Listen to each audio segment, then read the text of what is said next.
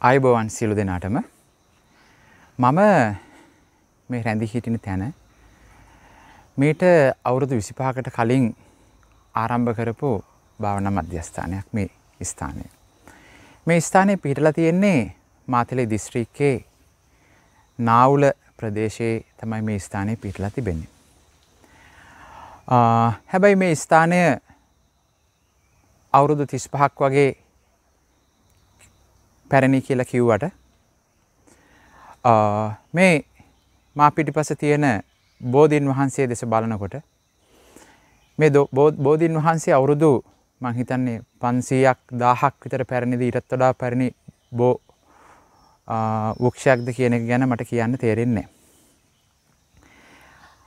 ඒ නිසා අපට මතු පිටින් බලපුහාම මේ බෝධි බෝධිය ඒ වගේම වටපිටාව පරිසරය දෙස බලපුහම සාමාන්‍ය බුද්ධියට හිතෙන දෙයක් තමයි මෙතන යම්කිසි ඓතිහාසික වටිනාකමක් තියෙන තැනක්වත් දෝ කියන එක මෙතෙන්ට එන ඕනෑම කෙනෙකුට තේරෙනවා.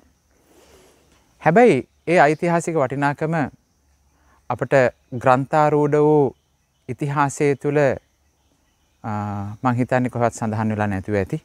ඒ ගැන කියන්න මම ඉතිහාසඥයෙක් නෙවෙන නිසා මම කියන්න සුදුසු නැහැ මම දන්නේ නැහැ. නමුත් මෙතන ඇවිල්ලා බවුන් වඩපු ඕනම කෙනෙකුට සංවේදී වෙන දෙයක් තියෙනවා. ඒ තමයි මෙතන යම්කිසි ඓතිහාසික ආගමික වටිනාකමක් තියෙන තැනක් කියන එක මොකද්දෝ ක්‍රමයකට සංවේදී වෙනවා.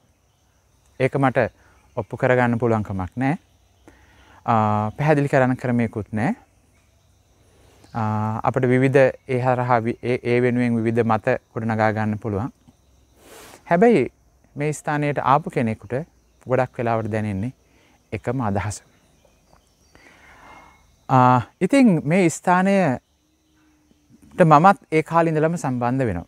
මේකේ මේ ස්ථානය ආරම්භ වෙනකොට මේ ස්ථානය මුල්ගල තබනකොට මේ ස්ථානය සුද්ධ පවිත්‍ර කරනකොට ඒ කාලිඳලම මමත් මේ භාවනා මධ්‍යස්ථානයත් එක්ක සම්බන්ධයි. නමුත් දැන් මේ මොහොත වෙනකොට ගොඩක් බාහිර පරිසරය අභාවයට ගිහින් තියෙන්නේ. ඒ වගේම මේ ස්ථානයේ පරිහරණය කරන්න බොහෝම සීමිත ප්‍රමාණයක්.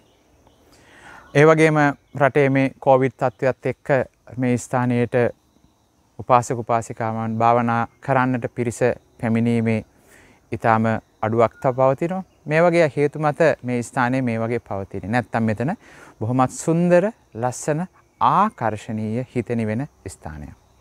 ඉතින් මේ ස්ථානයට ඇවිල්ලා මොනවද ඔයගොල්ලොත් සමග බෙදා ගන්න ඕන කියලා හිතපු වෙලාවේ තමයි මට හිතුනේ මේ ස්ථානය ස්ථානයේ මොකද්ද සමාජයට කරන්නේ? බුදුදහමට මොකක්ද කරන්නේ? මිනිස්යාට මොකද්ද කරන්න කියන එක පිළිබඳව මොකද්ද කළේ කියන එක පිළිබඳව ඒ කාලේ ඉඳලම පුංචි පැහැදිලි කිරීමක් කියන්න. දැන් මෙතෙන්දී මම මගේ අතීතයට ගියොත් එහෙම මට ටිකක් වෙනස් ආකාරයකට ටිකක් ගැඹුරකට මගේ බුද්ධියට සංවේදී වෙන විදිහට මම මට පන්සිල් කියලා දුන්නේ මේ ස්ථානයේ.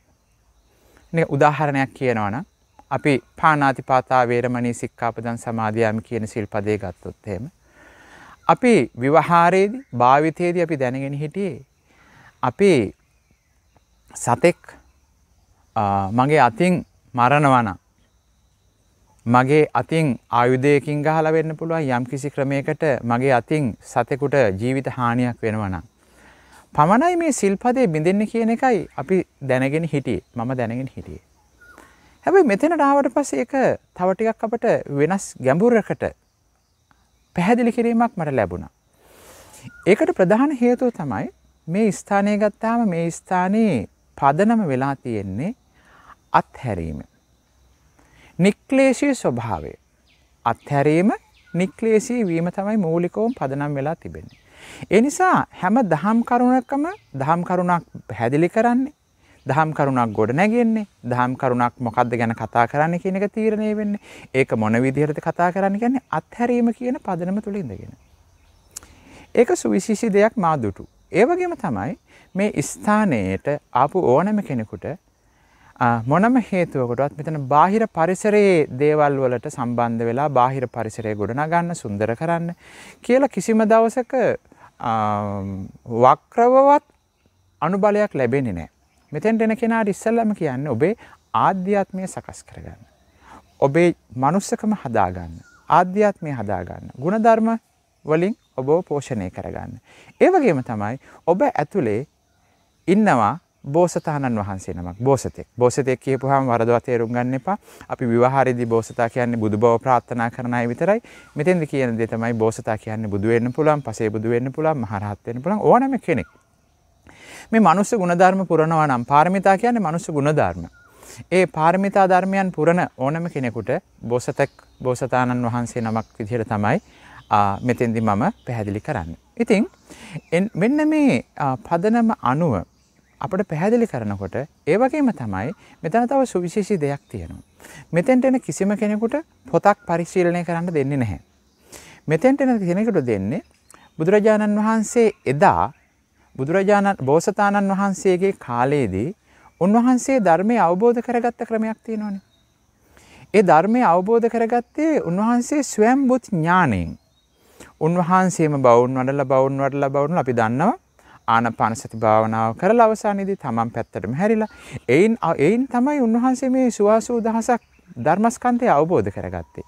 නුවණින් තමයි ඒක අවබෝධ කරගත්තේ. ඒ නිසා මෙතෙන්දී අපට උගන්වන දේ තමයි කොහොමද මේ තමන්ගේම නුවණින් ස්වයම්බුත් ඥාණයෙන් මේ තථාගත සම්මා සම්බුදුරජාණන් වහන්සේ ලෝකයට දේශනා කරපු ධර්මය උන්වහන්සේ අවබෝධ කරගත්ත ධර්මයේ බිඳක් අපි අවබෝධ කරගන්නේ කොහොමද කියන එක. ඒක හරිම සුවිශේෂීත්ව දෙයක් තමයි මෙම ස්ථානයෙන් මා ලබාගත් අත්දැකීම අනුව. එතකොට ඒ අනුව තමයි අපට අදාළ භාවනා කර්මස්ථාන දෙනවා උපදෙස් දෙනවා ඒ කර්මස්ථානවල පිහිටවනවා ඒ හරහා ක්‍රමානුකූලව අපට එදා බුදුරජාණන් වහන්සේ පැහැදිලි කරන විඤ්ඤෝ හීති නුවණට තේරේවි කියන දේ ක්‍රමානුකූලව අපට පැහැදිලි කරලා දෙනවා. එතකොට යම් විදිහකින් අපට එතකොට අපි යම් ආකාරයකට අපි අපට ඒක හරියට තේරෙන්නේ නැත්නම් ඒ වෙලාවේදී අපට ළඟින් මෙදලා අපට උපදෙස් ලබා දීමක් මෙම ස්ථානයේදී සිදු කරනවා. ඉතින් මෙන්න මේ පදනම අනුව තමයි අපට ඔය අපට පානාතිපාතා කියන සිල්පදේ පවා පැහැදිලි කරලා දෙන්නේ. එතකොට අපට අත්හැරීම කියන තැන ඉඳලා අපි බැලුවොත්. නික්ලේශී වීම කියලා තියෙන තැන ඉඳලා බැලුවොත්. හිත පාරිශුද්ධත්වයට පත් කර ගැනීම කියන තැන ඉඳලා බැලුවොත් අපේ අතින් සතෙක් මැරුන් නැති වුණාට සත්තු හිංසාවක් වෙන්න පුළුවන් සතෙකුට පීඩාවක් වෙන්න පුළුවන් තව ක්‍රම කොච්චර තියෙනවද නේද? මෙන්න මේ ක්‍රම පිළිබඳව මෙතෙන්දී අපට විශේෂ අවබෝධයක් අපට ලබා දෙනවා. ඒ ලබා දෙන විශේෂ අවබෝධය තමයි අපි අරන් බැලුවොත් එහෙම දැන් පානාතිපාතා කියන සිල්පදය. අපට කියලා දෙනවා. අපි අපි අපි බලමු උදාහරණයක් විදිහට ගත්තොත්. අපි අර අර කියපු තැනට වඩා ඉඳලා අත්හැරීම කියන තැනට අපි ගත්තොත් එහෙම. අපට අපේ හිත පාරිශුද්ධත්වයට පත් කර ගැනීම කියන තැන ඉඳලා අපි අරන් බැලුවොත් එහෙම අපේ හිත අපි අතෙන් අතෙක් අපේ අත් දෙකෙන් හරි අපේ ක්‍රියාවකින් සත්ව ඝාතනයක් කරේ නැති වුණාට අපි කොච්චර හිරිහැර කරනවද හිංසා කරනවද මිනිස්සුන්ට? කිසි කෙනෙක් කැමතිද කාගෙන් හරි හිංසාවක් හරි පීඩාවක් පරිපත් වෙන්න. අපි විවිධ විදිහට මේ පීඩා කරනවා නේද? සමහර විට අපි වාචිකව මිනිස්සුන්ට කොයිතරම් අපි පීඩා කරනවද? ඒ වගේම අපි මිනිසුන්ගේ දේපල සමහර විට අපි අපට අයිති නැති දේවල් යම් ආකාරයකට අපි උපායශීලීව ඒගොල්ලන්ව රිද්දවන අවස්ථා අප ගාව නැද්ද? ඒ වගේම අපේ අධ්‍යාත්මය ගත්තොත් අපි ප්‍රාර්ථනා කරනවා සමහරට අපි සාප කරනවා සමහර මිනිස්සුන්ට. අපි හෝනියන් කරනවා සමහර මිනිස්සුන්ට. ඒ මොනවද අපි කරන්නේ?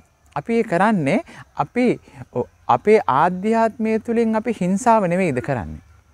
එතකොට මෙන්න මේ වගේ පැති ගොඩකට පැහැදිලි කිරීමක් කරනවා මේ පානාතිපාතා කියන සිල්පදයේ ගැඹුරු අර්ථයක් පිළිබඳව. ඉතින් එතෙන්දී එකක් තමයි මට එක උදාහරණයක් පැහැදිලි කරොත් එහෙම කියනවා. අපි හිතමු ඔබට හම්බෙනවා මුතු බෙල්ලෙක්. පණ තියෙන මුතු බෙල්ලෙක් කවුරු හරි පරිත්‍යාගයක් කරනවා. ගෙනල්ලා ටැංකියක දාගෙන මුතු බෙල්ලෙක් ගෙනල්ලා දෙනවා. මහත්තයා මෙන්න මේ මුතු බෙල්ල ඔබතුමාට හම්බෙන්නේ මේ මුතු බෙල්ලව ආරක්ෂා කරන්න කියලා. දැන් ඔයා පානාතිපාතා සිල්පදේ රකින්න කෙනෙක්. එතකොට ඒ පානාතිපාතා සිල්පදේ රකින්න නිසා දැන් මේ මුතු බෙල්ල අරගෙන ටැංකිය ආරක්ෂා කරනවා. හොඳට කණ්ඩ බොන්ඩ දීලා බොහෝම ආදරයෙන් වෙන සතකුගෙන් හිරිහැරයක් නොවන පරිදි මේ මුතුබෙල්ලව ජීවත් කරනවා තමන්ගේ ගෙදරින්දලා. හැබැයි මේ මුතුබෙල්ලගේ ඇතුලේ ඔබට පෙනෙනවා ඉතාම දීප්තිමත් වටිනා මුතු ඇටයක් මේ මුතුබෙල්ලගේ තියෙනවා කියන එක. ඔබට ආර්ථික ප්‍රශ්නත් තියෙනවා. ඔබ දැන් කල්පනා කරනවා මේ මුතු ඇටය කියන එක ඉතාම වටිනා දෙයක්. ඉතාම මිල අධික දෙයක්. මේ මුතු ඇටයෙන් කවදා හරි දවසක මට පුළුවන් වෙනවා මගේ තියෙන ආර්ථික ප්‍රශ්න සියල්ලම විසඳ ගන්න කියන දේ ඔබ දන්නවා. දැන් මේ මුතු බෙල්ලව ඔබ ජීවත් කරනකොට ඔබ මොකද කරන්නේ? ඔබ හැමදාම ඇවිල්ලා මේ මුතු බෙල්ලව ආරක්ෂා කරනකොට උදේට ඇවිල්ලා මේ ටැංකියේ මේ මුතු බෙල්ලව බලනකොට මොන චේතනාවෙන්ද ඔබ බලන්නේ? ඔබ මේ මුතු බෙල්ල දිහා බලන්නේ අදවත් මේ මුතු බෙල්ලම් මැරිලා ඉඳීද කියලා. ඇයි මැරණකන් තමයි බලාගෙන ඉන්නේ මේ මුතු බෙල්ලව. ඇයි මැරිච්ච දවසට මේ මුතු ඇටේ අරගෙන තමන්ගේ ආර්ථික ප්‍රශ්න ටික විසඳගන්න. එතකොට බලන්න හැබැයි මේ මුතු බෙල්ලට කිසිම හිරිහැරයක් කරේ නැහැ. නමුත් අපේ ආධ්‍යාත්මෙන් අපේ මනස පිරිසුදු වෙලාද තිබුණේ. මනස හැම වෙලෙම බලාගෙන ඉන්නේ මොකද්ද? මනස හැම වෙලෙම බලාගෙන ඉන්නේ අපට මේ මුතු බෙල්ලා මැරෙන දවස එනකන් තමයි බලන්නේ. ඉතින් අපේ ආධ්‍යාත්මයේ පාරිශුද්ධත්වය ගැන කතා කරද්දී එහෙම හැඟීමක් තිබුණත් අපේ ආධ්‍යාත්මය පිරිසිදුද? අපේ හිත පිරිසිදුද? පාරිශුද්ධත්වයට පත් වෙලා තියනවද? නෑ නේද? එහෙමනම් පාණාතිපාතා කියන සිල්පදය අපට ඒ තරම් ගැඹුරෙන් අපේ පැහැදිලි කිරීමක් මගේ ජීවිතයට ලැබුණේ මේ ස්ථානයේ පරිශීලනය කිරීම වෙනුවෙන්. ඉතින් ඒ නිසා මේ ස්ථානයට ආවට පස්සේ ඒ වගේම තමයි ඔය එකක් මම පැහැදිලි කරේ පන්සිල් පද පහම මෙන්න මේ වගේ ගැඹුරෙන් පැහැදිලි කරලා කියලා දුන්නු තැනක් තමයි මේ ස්ථානය. ඉතින් ඒ වගේ වටිනා තැනක් පූජනීය තැනකට ඇවිල්ලා ඔබ සමග පුංචි දහම් කරුණක් බෙදා ගන්න ලැබීම ගැන මම සතුටු වෙනවා ඔබ සැමට තෙරුවන් සරණයි.